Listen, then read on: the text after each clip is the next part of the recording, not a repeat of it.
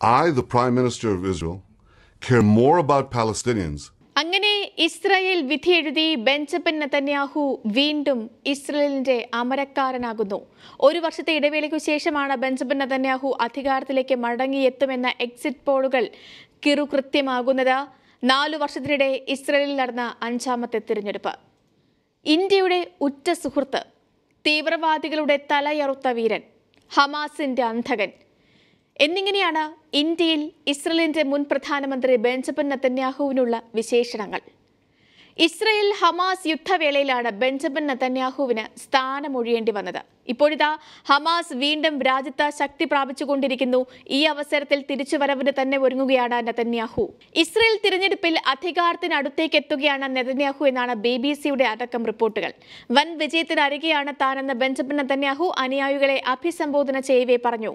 കഴിഞ്ഞ വർഷം അധികാരത്തിൽ നിന്നും പുറന്തള്ളപ്പെട്ട നെതന്യാഹു പ്രധാനമന്ത്രി പദത്തേക്ക് തിരിച്ചെത്തുമെന്ന് തന്നെയാണ് നിലവിലെ റിപ്പോർട്ടുകൾ. വെസ്റ്റ് ബാങ്കിനെ ഇസ്രയേലിനോട് ചേർത്ത ശക്തനായ നേതാവാണ് ബെഞ്ചമിൻ നെതന്യാഹു.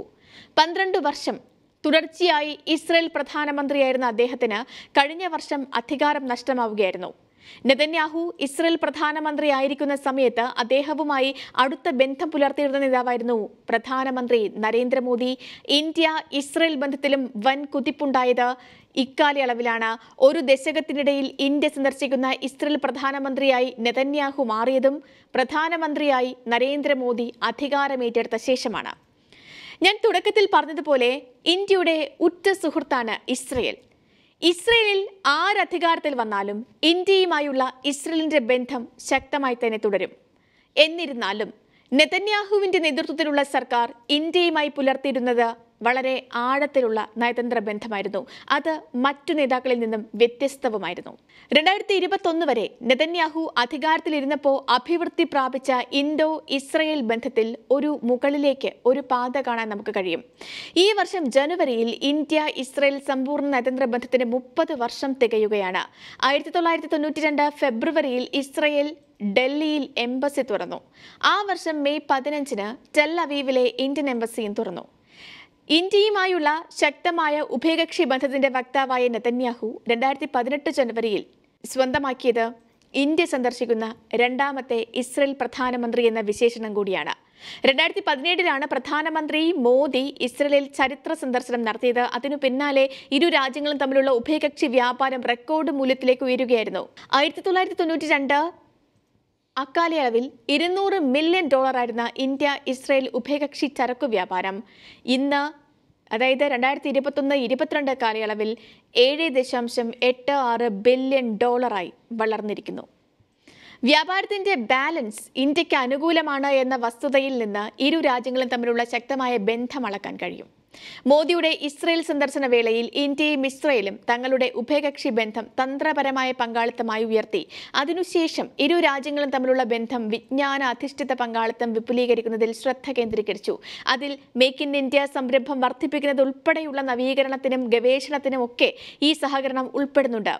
ഇന്ത്യ ഇസ്രയേൽ ചരിത്രം പരിശോധിക്കുകയാണെങ്കിൽ ആയിരത്തി തൊള്ളായിരത്തി അൻപതിൽ തന്നെ ഇസ്രയേലിനെ അംഗീകരിച്ച രാജ്യമാണ് നമ്മുടേത്. എന്നിരുന്നാലും ഇരുവരും തമ്മിലുള്ള ബന്ധം സാധാരണ നിലയിലാക്കാൻ നാല് പതിറ്റാണ്ടുകൾ കൂടി വേണ്ടി വന്നു. തൊണ്ണൂറുകളിൽ ശാസ്ത്രം സാങ്കേതികവിദ്യ കൃഷി എന്നിവയിൽ പ്രതിരോധ ഇടപാടുകളും സഹകരണവും ഉണ്ടായി. ഇതോടെ ഇരു രാജ്യങ്ങളും തമ്മിലുള്ള ബന്ധം വികസിക്കുകയായിരുന്നു. പലസ്തീൻ വിഷയത്തിൽ ചരിത്രപരമായ പിന്തുണയും എണ്ണയ്ക്കായി അറബ് ലോകത്തെ ആശ്രയിക്കുന്നതുമായുള്ള ബന്ധങ്ങൾ സന്തുലിതമാക്കാൻ ശ്രമിച്ചപ്പോൾ ഇസ്രയേലുമായുള്ള ബന്ധത്തെ ബന്ധത്തെക്കുറിച്ച് ഇന്ത്യയ്ക്ക് ചില സംശയങ്ങളുണ്ടായിരുന്നു. ചില ആശയക്കുഴപ്പങ്ങൾ വന്നു. എന്നിരുന്നാലും അടുത്ത ദശകങ്ങളിൽ ഇന്ത്യൻ മന്ത്രിമാർ ഇസ്രയേൽ സന്ദർശിക്കാൻ തുടങ്ങി.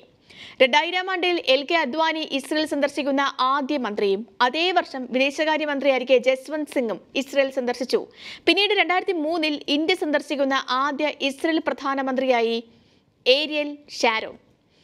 അതിനുശേഷം ഇരു രാജ്യങ്ങളും തമ്മിലുള്ള ബന്ധം പ്രത്യേകിച്ച് മോദിയുടെയും നെതന്യാഹുവിന്റെയും കീഴിൽ ദൃഢമാവുകയായിരുന്നു. പ്രധാനമന്ത്രിയായിരിക്കെയാണ് രണ്ടായിരത്തി പതിനേഴിൽ പ്രധാനമന്ത്രി മോദി ഇസ്രയേൽ സന്ദർശിച്ചത്.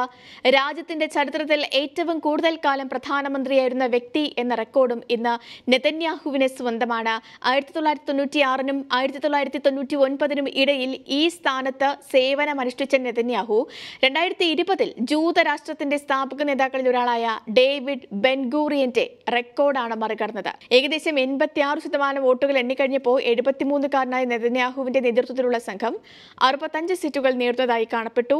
നൂറ്റി ഇരുപതംഗ സെനറ്റിലോ പാർലമെന്റിലോ മികച്ച ഭൂരിപക്ഷം. എന്നാൽ ഈ സംഖ്യകൾക്ക് അല്പം മാറ്റവും വന്നേക്കാം.